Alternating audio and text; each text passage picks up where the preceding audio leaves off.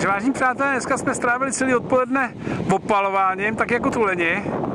Takže se opalujeme obojí. Takže superový zážitek, pozorujeme tuleně celé odpoledne. Nádherný zážitek, takže zdravíme, ahoj, ahoj.